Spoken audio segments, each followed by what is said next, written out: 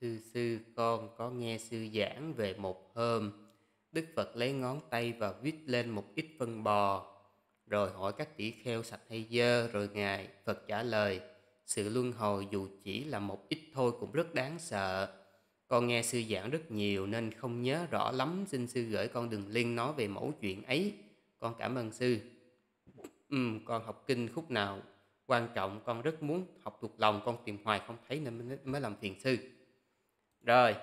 Uhm. nó có um, để sư coi coi có hai cái bài kinh tương tự.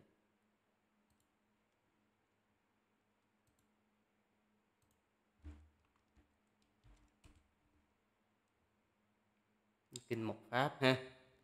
À, phần. Đây. Ở đây ngài Minh Châu á, thì ngài dịch là ví như này các tỷ kheo một ít phân có mùi hôi thối cũng vậy này các tỷ kheo ta không tán thán về hiện hữu dầu cho có một ít thôi cho đến chỉ trong thời gian búng ngón tay. Thì à, nếu quý vị tìm cái bài kinh này thì quý vị không thấy cái phân bò nằm ở chỗ nào. À, nhưng mà quý vị qua bên đây. Cái này là bản dịch của ngài à, chánh thân. Ủa xin lỗi.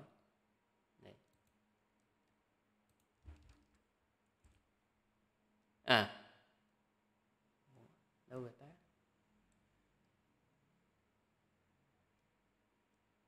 Uhm, nguy chờ thêm một tí ha,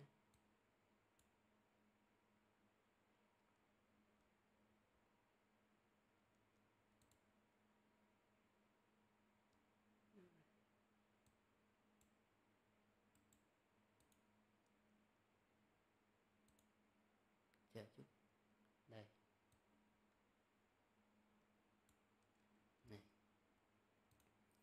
đây là ngày chánh thân.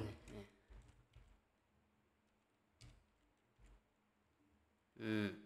đây là bản dịch của ngày chánh thân. Cũng bài kinh đó đó mà ngày dịch ở trong một cái chỗ khác thôi. À, này các tỷ kheo à, cũng như phân bò dầu chỉ chút ít cũng có mùi thối. Này các tỷ khưu tương tự như thế.